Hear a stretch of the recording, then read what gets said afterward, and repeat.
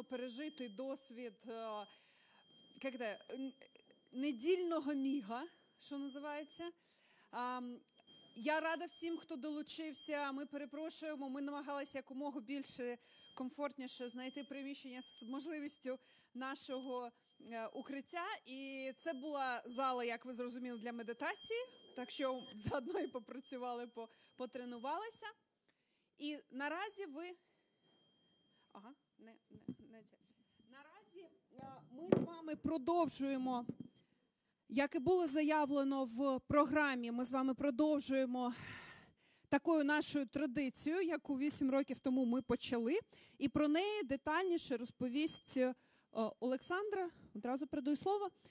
Олександр Матвійчук, голова Центру громадянських свобод.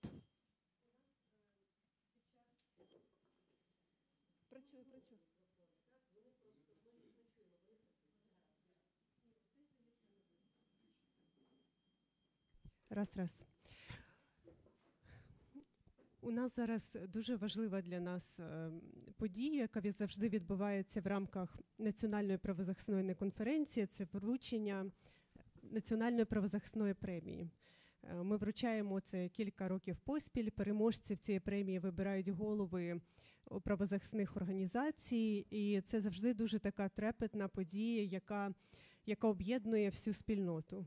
У нас е, були е, за ці роки дуже різні номінанти і номінантки. Е, Був приклад вручення премії лю- людині, ім'я якої ми не називали, тому що це було для цієї людини небезпечно. Вона працювала на окупованих територіях. І сьогодні у нас теж досить незвична для всіх нас церемонія, бо ми зараз вручатимемо премію не просто людині, правозахиснику, який заслужив на це своїм життям і своєю роботою, але ця людина є нашим близьким товаришем е, і другом. І я на цьому передам слово Наталії, щоб чи просто попрошу включити нам відео. Так, я, ми попросимо вимкнути відео, щоб ми подивилися його.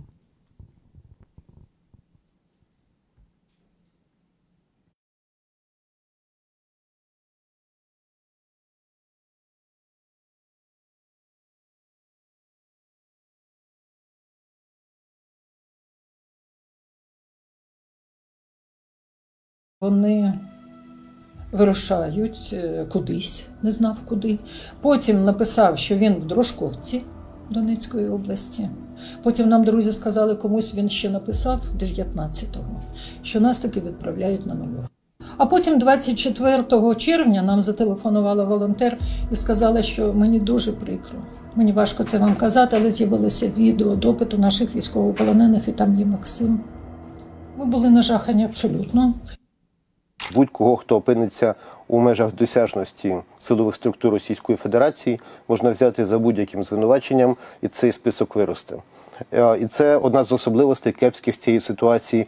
Заручників можна обмінювати на щось просто для того, аби потім взяти нових. Громадяни країни хочемо спитати, що робить влада для визволення наших співгромадян. Але впишіть слова підтримки нашим в'язням, засудженим за те, що вони просто не полишили своїх переконань.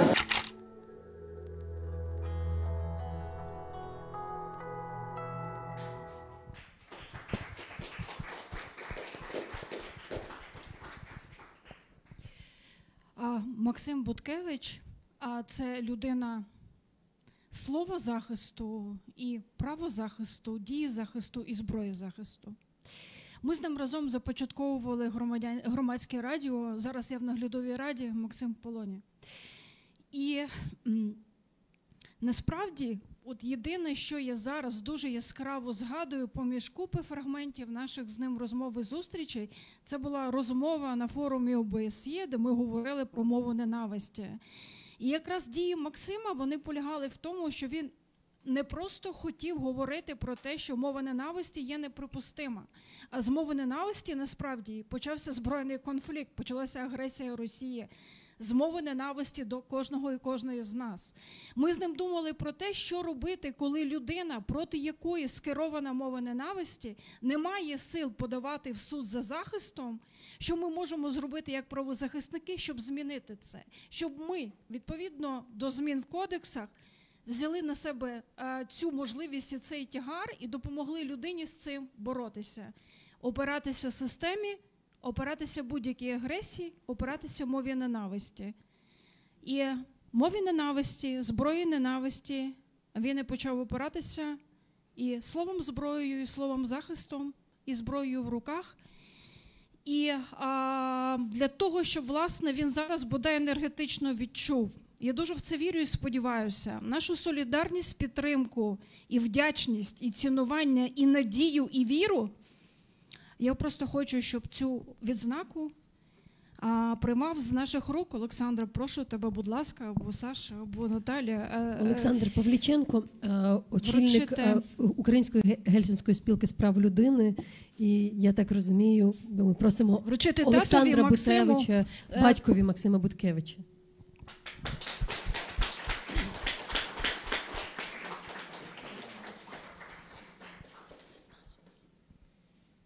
Дорогі друзі, ви дуже вдячний вам. Я вітання від дружини. Хто її знає, вона не змогла сьогодні бути з нами тут, але вона передає всім вітання і подяку. Звичайно, як батькам, це нас надихає, підтримує. Ви знаєте, і тут відео основні моменти побачили деякі речі. Я просто хочу сказати, що остання інформація, яка я мав від сина у вигляді фото листа, який переслав мені відразу адвокат після мав таку можливість перед судом в, серпні 22-го цього року його відвідати. Ну, він писав обережно, виважено, тому що е, була небезпека, що адвокату е, обшукають, і якщо будуть е, вилучені або виявлені матеріали, то буде і адвокату не- зовсім, скажімо, комфортно відчувати себе, ну тим паче тому, хто ці речі писав. Тому такий напівезоповський, езоповська мова була. Але він і до цього, ще коли перебуваючи в лавах е, Збройних сил, до когось е, інтерв'ю давав телефоном, то він казав, що війна це страшна штука, але я все-таки сподіваюся, що після війни вона не зробить нас настільки е, грубою, жорстокою, що ми відставимо, відсунемо права людини на другий чи на третій план. Тому, власне, що і боротьба відбувається за права людини, за ті демократичні цінності, які відсутні повністю в Російській Федерації, яку ворог намагається знищити у нас. Не дивлячись на те, кажу, що багато недосконалостей, що ми весь час, я сьогодні казав, продовжуємо виборювати, відстоювати ці права, навіть понад уже 30-річну історію своєї незалежності. Ну, так от в листі він всім передавав вітання, казав, що всіх пам'ятає, молиться за всіх і за кожного окремо. І що він ну, не, не те, що переглядає, а ну, багато розмірковує про, про свій внесок в спільну справу, бо каже, що в листі написано, що, на жаль, мало встиг зробити до цього часу. І знову таки, залишаючись правозахисником навіть в тих умовах, умовах він казав, що обов'язково після цього е, така фраза є, що буду займатися обов'язково дуже багато питань е, до прав і звільнення військовополонених, ну малось на увазі Женевські конвенції, про до пенітенціарної служби, до питань тортур. Тобто ці всі питання, ті, які актуальні для нього за тих умов були, і як для правозахисника він їх збирався, коли це буде, звільнення ставити на перший план і продовжувати свої дії. Ну, от так я думаю, що усвідомлюючи, чому я, я казав, що цей конфлікт і внутрішній, і, і зовнішній, зрозуміло, що ми маємо справу з глобальним світовим злом. Воно завжди було, на жаль, але принаймні у себе ми маємо його викорінювати.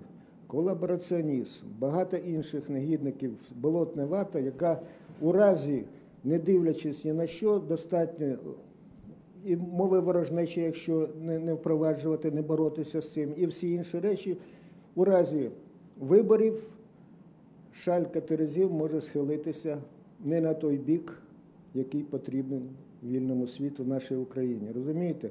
Тому свідомість і щирість, пан Сергій сьогодні згадував Фурса, що потрібно е, бути чесними. Так я кажу, бути чесними насамперед перед собою, перед своїм сумлінням. І звертайте увагу, не можна бути байдужими, якщо ви бачите, що поруч у вас нечесні люди. Тому що ви своєю чесністю, якщо ви не, не боретесь зі злом, ви йому потураєте. Пасивно, але все рівно потураєте. Будьте чесними перед собою, і тоді ми всього досягнемо. Дякую вам. Я пропоную зробити фотографію, пане Олександре. Залишіться, будь ласка. Ми зробимо швидко фотографію. Я прошу Ларису, Наталю, Саша, будь ласка, ставай також. І напевно ми станемо перед столиком. Да? Давайте.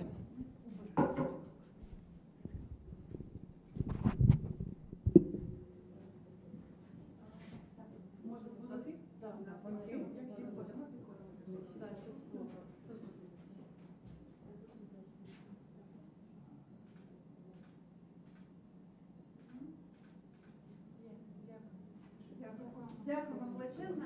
Колеги, у нас перерва до 12.05, 10 хвилин, і ми починаємо наступну панель. Дякую вам.